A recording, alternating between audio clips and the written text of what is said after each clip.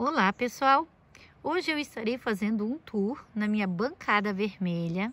Fiz algumas modificações, temos algumas novidades aqui também no jardim que eu quero estar compartilhando com vocês, algumas ideias que estão surgindo. Então vamos é, compartilhando, trocando ideias. Temos também ideias que surgiram aqui no canal que vocês, né, que a, a gente coloca em enquete, vocês respondem e a gente atende. Então, quem gostou do tema do vídeo, eu peço que se inscreva no canal, que deixe o seu like e que ative o sininho. Toda semana eu estarei compartilhando muitas dicas no cultivo com essas linduchas, com essas lindezas. Então agora vamos ao tour, vamos ver as modificações, as ideias, né? E o que acontecerá no futuro aqui no jardim da Prof. Rutim. E para você que está chegando novo no canal, seja bem-vindo. É, eu quero apresentar para vocês aqui, esta é a minha bancada vermelha, para quem não conhece. Lá atrás são os meus dois painéis de latinha. Nós temos algumas arrumações, de, depois eu vou estar tá falando para vocês sobre aquelas, aquela, né, aquele painel lá do canto, ó, que nós tamo, temos eles, os dois vazios, né? A gente retirou as plantinhas de lá e vou estar tá falando para vocês o porquê. Então, é, eu pedi para que o meu marido fizesse essa, essa bancada, porque eu vi que aqui, gente, é um espaço, isso é muito importante, tá? Você verificar no seu jardim um espaço onde pega bastante ventilação, sol, tá? E principalmente sol. Por que o sol? Agora, principalmente no inverno, a gente tem a falta de sol, né? Tem bastante inscritos meus reclamando da falta de sol. Então a gente, infelizmente, às vezes a gente não vai conseguir cultivar nossas plantinhas onde a gente deseja em determinadas estações. Né? Às vezes a gente vai ter que cultivar na frente de casa, do lado de casa, atrás de casa. Muitas das vezes, né, nós temos espaços que não são aqueles espaços que a gente idealiza, mas é o espaço que elas precisam. Então, infelizmente, a gente vai ter que, né, adaptar e cultivar elas aonde elas vão ficar bem e saudáveis. Como eu falei, é, o local ele é estratégico, então ele pega bastante sol, é bem arejado, é um local privilegiado também, né? Querendo ou não, é um local, né? Fica bem do lado de casa, então a gente chega, a gente já consegue ver. Ah, e o que, que eu cultivo aqui? Quais são as plantas que eu trago para cultivar aqui? Cada estação, gente, tem plantas que ficam aqui o ano inteiro. Tem plantas que eu mudo. Tem estações que eu cultivo aqui na bancada e tem estações que eu cultivo em outro local. As suculentas que são mais resistentes e fácil cultivo, então elas ficam aqui o ano inteirinho, tá? Elas pegam sol o ano inteiro, porque aqui no verão o sol é muito forte, eu tenho que verificar isso. É, então elas ficam aqui o ano inteiro. Tenho suculentas que eu cultivo em cima da bancada e embaixo. Embaixo, muitas das vezes, gente, temos algumas ali que elas estão enraizando, por isso que eu deixo ali embaixo. Ali embaixo elas não vão pegar tanto sol e elas vão estar mais protegidas também da chuva, tá? Então aí eu vou fazendo dessa forma. Então aqui embaixo é, sempre uma rotatividade, isso é, eu estou sempre trocando em cima da bancada também, né? Mas aqui embaixo é mais, isso é mais, é, eu faço com isso mais frequência. Por exemplo, agora, ó, eu tô percebendo que tem um vaso aqui que elas já enraizaram, aqui, ó. E como aqui embaixo quase não pega sol, olha só, olha que legal. É legal a gente né, trazer essas dicas para vocês. Elas estão ficando mais estioladas, tá vendo? Elas estão abrindo mais, ó. Não estão tão coloridas, estão mais abertas. A mesma coisa aqui, ó. Deram uma crescidinha já, não é verdade? Sabe por que, que elas deram essa crescidinha, gente? Porque a gente teve um verão agora no meio do inverno. Essas últimas duas semanas foi muito quente aqui. Para vocês terem ideia, nós não ligamos ar-condicionado no inverno. E esse inverno a gente usou. Então, quer dizer, muito quente, muito quente mesmo. Hoje já é dia 23, isso, de junho. E a gente, né, nesse período do ano, a gente tá com casacos pesados, muito casaco mesmo. E é casaco de lã, e é touca, e é luva. E esse ano até agora a gente não usou nada disso. Então, o que, que aconteceu? A planta entende que, como deu um friozinho, elas deram uma paradinha de crescer, elas pensaram, ah, entrou no inverno. De repente esquentou, ficou muito quente. Então o que, que elas entendem? Ah, chegou a primavera. E a planta, ela vai crescer, ela vai responder conforme o clima, né, gente? Então, por isso que elas deram uma crescidinha, tá vendo, ó? Isso é crescimento por causa do calor, olha só. Então, o que eu vou fazer? Eu vou retirar essas, ó, já tá na hora de eu retirar daqui e colocar num local onde elas vão pegar mais sol. Então, aqui a gente inicia com essa banheira linda, tenho várias espécies aqui. A prolífica tá muito bonitinha, olha como ela tá bem fechadinha, gente. Então, é, essa já é uma banheira que ela fica aqui o ano inteiro. Faça sol, faça chuva, inverno, verão, ela tá aqui. Aqui os vasinhos de, de cimento. Ah, de cimento não, de barro. A maioria desses vasinhos de barro também são plantinhas bem adaptáveis né, ao tempo e que ficam aqui o ano inteirinho. Então eu vou mostrar algumas, gente, que estão se destacando. A gente não vai estar tá mostrando todas, porque senão o vídeo vai se alongar muito, né? Aqui eu tenho essa... A, San Carlos, a Echeveria San Carlos, que ela tá bifurcando, ó. Tá saindo outra cabeça aqui, né? Tá com dois miolos. Olha que interessante. Interessante, né, gente? Esse é um vasinho que eu fiz recentemente do Sedum Alice Evans, que tá muito fofinho. Ela tava ficando bem coloridinha. Quem sabe, né? Agora, a próxima semana, a gente tem previsão de bastante chuva. Quem sabe ela volte a colorir novamente. Aqui eu tenho uma agavoide marrom, então a agavoide marrom, ela leva esse nome justamente pela coloração que ela adquire, ó. Ela fica bem amarronzada. Suculentas de folhas mais gordinhas, gente, que é, né, que preferem menos água, com substrato mais sequinho, eu cultivo elas mais assim, ó, em vasos de barro, aonde o vaso de barro, ele vai ter uma secagem mais rápida, tá? Aqui eu tenho uma Echeveria alba aloha, também estava muito bonita, essas pontinhas estavam bem avermelhadas, mas a gente sempre tem fé, né, de que dias melhores virão. Não que eu goste de inverno, gente. Eu passei a gostar de inverno. Eu sou uma pessoa que nunca gostou de inverno. Eu sofro muito no inverno, eu sinto muito frio. Mas depois que eu comecei a cultivar as suculentas, assim a gente tem mudado a mente, né? Os pensamentos, os gostos. Então eu tenho é, a, né, uma das estações preferidas agora minha é o inverno pela coloração. Olha isso, gente, que essas plantas adquirem, que elas ficam. Então aqui eu tenho uma Echeveria Snow White, Echeveria não, um Graptopetalum, é um Graptopetalum, Graptoveria, alguns chamam. Aqui o Gansrow, ó, tenho esse, tem esse outro aqui também, olha que lindão. Então, o Gunsrow, ele, eu estou fazendo a adaptação dele no tempo, vamos ver, né? Aqui uma Cedeveria Blue Elf, um bebezinho que eu trouxe. Aqui o Paquifiton Blue Bean, também trouxe para cultivar aqui no, na, no tempo, gente.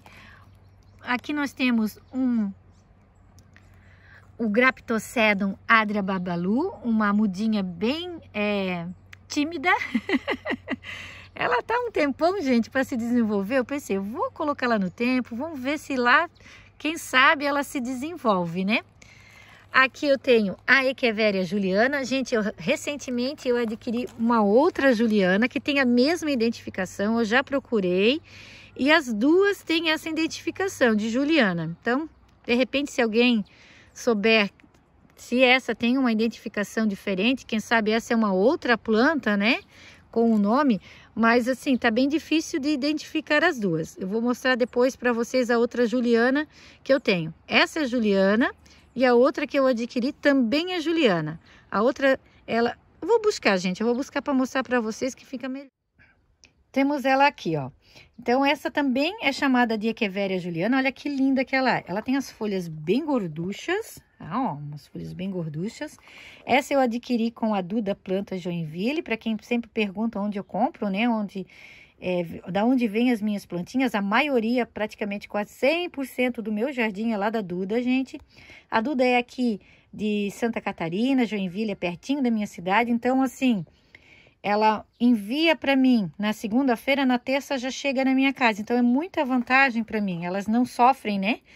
Porque a gente sabe que o problema de você enviar as plantinhas é muitas das vezes a distância, fica muito tempo dentro da caixa, elas chegam muito debilitadas, muitas morrem, a gente não consegue salvar. Mas com a Duda, assim, eu tenho essa, né, essa vantagem. E também é pertinho, de repente, né? Tá na hora de eu fazer uma visita lá para ela, faz muitos anos que eu sou cliente dela, fazer uma visita e conhecer a estufa da Duda. Então, essa também é Juliana.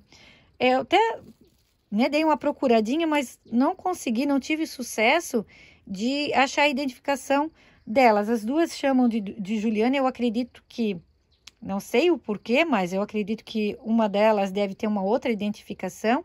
E quem souber, olha só, e quiser né, ajudar a gente, eu agradeço de coração. Então, deixa eu fazer um trajeto diferente aqui para vocês, né? Vocês conhecerem um pouquinho aqui do espaço, do jardim. É, vocês sempre escutam, né, os galos cantando aqui, como aqui é sítio. Então, a gente sempre tem, né, o som. Eu não sei se vocês conseguem escutar o som da cachoeira. Dá para escutar um som de água, gente? No fundo. Aqui embaixo, quando desce lá embaixo, nós temos cachoeiras aqui. Aqui é um local de muitas cachoeiras, né? Local de onde tem bastante cachoeiras. Então, né, aqui na bancada, onde é que a gente parou? Ah, a gente parou lá na Equevéria Juliana. Vamos continuar daqui, né? então, a gente estava aqui, como eu falei para vocês, se alguém souber a identificação, eu acredito que talvez essa não seja Juliana, a outra seja, não sei. Vamos ver, né? Vamos ver se a gente consegue encontrar a identificação correta. Eu trouxe também, gente, a Morane, né? Alguns vídeos atrás eu até comentei com vocês, eu tenho um bebezinho ali e ela tava só com esse bebezinho. E eu trouxe, ela já tá umas duas, três semanas aqui. Olha a cor, gente, que essa planta tá adquirindo. Olha que coisa linda. Olha que coisa mais linda. Olha a cor. E para minha surpresa, olha ali os bebezinhos no tronquinho. Deixa eu tirar aqui. Dá para ver ali? Ó, agora deu para ver, né? Temos três bebês, três bebezinhos. Então, assim, fez muito bem para ela vir aqui pro tempo, né? Sol. Aqui ela pegou, a gente tá com pouca chuva também, mas tivemos um dia que deu, assim, uma chuvinha boa. Então, ela pegou um dia de chuva. E a chuva, gente, a água da chuva, ela é maravilhosa para as suculentas, tá? Claro, em excesso, ela não vai ser legal. Tudo que é em excesso, mesmo né, o sol, a adubação, a, a água e mesmo a água da chuva não vai ser legal. Mas ela numa quantidade correta, ela é maravilhosa. Aqui o Cedon Pérez de la Rosaille, Ellen. Eu tô com, com um vaso de Ellen muito bonito, gente. Daqui a pouco a gente chega ali no, no vaso da Ellen para mostrar para vocês, tá? Aqui é o... Essa é a Paquivéria roqueri, eu tenho essa. E tenho essa outra ali, ó, muito bonita também. Esse outro vasinho aqui é com a Pish Pride, é um tronco que eu fiz a decapitação. Gente, a parte de cima eu coloquei um outro vaso. Agora eu não lembro qual foi o vaso que eu coloquei. E eu deixei o tronquinho aqui, elas começaram a soltar mudinhas, eu não retirei, deixei. Olha que coisa linda. E deram uma crescida, tá? Tá vendo? Tô meio abertinha. Vamos ver se agora, né, com o frio chegando, semana que vem, elas começam a ficar com o miolinho mais fechadinho novamente. Trouxe uma pink trumpete também aqui pro tempo, ó, tá com um bebezinho já. E eu preciso gentilmente, gente, tirar ela dessa latinha. Tá muito fofinho aqui, né? Olha só. Mas os bebezinhos estão ficando apertados ali. Acho que eu vou trocar ela tirar ela daqui, trocar ela, colocar ela num, num vasinho maior. A minha Walter Lilia, descobri que é uma Graptovéria, gente, não é Echeveria, tá? Eu tirei aqui, ó, os bebezinhos aqui de trás, eu tava com vários bebês aqui. Deixei só aqui, essa é a Agavoide Red Tip, uma colônia de Red Tip. E deixei essas duas lindonas aqui, tô fazendo um enraizamento em um outro vasinho já. Então aqui nós temos diversas latinhas de milho, onde eu trouxe diversas plantinhas. Vou mostrar algumas, né? Como eu falei para vocês, senão o vídeo vai ficar muito longo. Aqui eu tenho um ebracteatum, ah, um sedum ebracteatum. ah, fiz a decapitação, né? Tô fazendo um enraizamento em um outro vasinho da parte de cima e aqui ele já tá soltando mudinhas. Esse sedum, gente, maravilhoso aqui, ele fica numa cor maravilhosa no inverno, mas ele ainda não está. As folhinhas brotam com muita facilidade. Então é uma planta é, muito fácil de reproduzir, tá? Querência. Aqui eu tenho esses dois maravilhosos rabos, né? Esse é o rabo de, de gato e aqui eu tenho o rabo de macaco. Olha que lindos, totalmente cultivados no tempo, gente. Eles estão aqui desde a primavera do ano passado, então vai fazer um ano agora na primavera que eu fiz esses dois vasos, introduzi aqui na natureza e aqui ficaram. Aqui, ó, a Ellen que eu falei para vocês, olha que coisa mais linda. Esse vaso, no início, gente, eu tive um pouquinho de dificuldade com ele, porque eu fui fazer o enraizamento, foi num período que era para ser fácil, mas como o verão se estendeu, então ela sofreu bastante. E como eu ela estava cultivando ela na, no beiral da casa. Como eu vi que lá ela não estava bem, eu trouxe aqui para o tempo e foi a melhor coisa a se fazer. Olha só como elas estão bonitas. Isso se deve também porque a gente tá com um tempo mais seco, não está chovendo tanto. Porque a Ellie, ela sofre um pouquinho na no tempo, tá, gente? Se chove demais, ela fica com as folhinhas cheias de bolinhas e ela tende a cair as folhas. Então, cuidado aí no substrato, substrato bem leve, bem drenante, para que a água escorra bem rápido, tá? Aqui eu tenho o Paquifiton macho cai Baby Finger, olha que lindo, maravilhoso também. Na latinha que a Bel pintou, minha sobrinha. O Creminocedon Crocodile. Aqui eu tenho a Angel. Essa aqui é a Big Green, um tronquinho de Big Green que eu deixei para soltar mudinhas. Nós temos os eônios kiwi ficando kiwi, porque no verão, gente, eu não sabia mais se era Havort, se era kiwi, eu não sabia mais onde estavam os meus kiwi, porque ficaram tudo numa cor só e não tinha jeito de saber. Só sabia mesmo porque eu sabia qual era o vaso que eu tinha plantado eles. Agora, eles tinham ficado totalmente verde, tá? Não tinha diferença nenhuma. Agora que eles começaram a ficar variegata novamente, olha só que lindo. Essa latinha, gente, quem lembra? Quem é inscrito mais tempo aí e lembra dessa latinha aqui que eu tinha, é, o grapto, a Graptoveria Snow White. Quem lembra? Aquelas, as duas rosetas maravilhosas que tinha aqui. Eu fiz a decapitação, como eu tinha os brotinhos aqui, né? Deixei, então, eles para pegar mais sol, para crescer. Olha como estão lindos. E coloquei, gente, aqui, ó. Elas estão aqui. Tem uma aqui e a outra aqui do lado. Então, essas duas estavam aqui nessa latinha. Estavam maravilhosas também, né? Mas chegou uma hora que a gente tem que fazer essa manutenção, não tem jeito.